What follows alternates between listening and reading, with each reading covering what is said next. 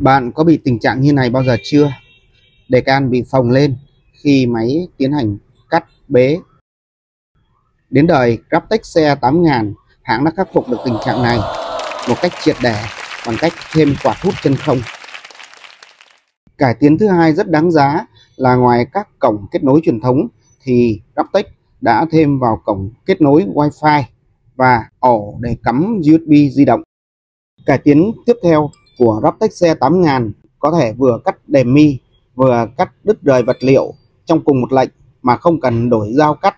Ngoài ra, Raptex xe 8000 cũng có nhiều cải tiến khác để giúp máy hoạt động hiệu quả hơn, bền bỉ hơn. Raptex xe 8000 hiện có 3 khổ máy cơ bản là khổ máy 40cm, khổ máy 60cm và khổ máy 1m3. Mỗi khổ máy thì phù hợp với một công việc cụ thể, trong đó khổ máy 40 đặc biệt thích hợp cho những người làm in nhanh cổ máy 60 và 1m3 thì ứng dụng được nhiều hơn và có kèm chân máy.